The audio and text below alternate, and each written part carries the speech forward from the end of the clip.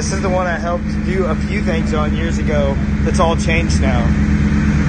Different color. E85. Coyote, I think. I don't know. I don't think it's a 5.4 anymore.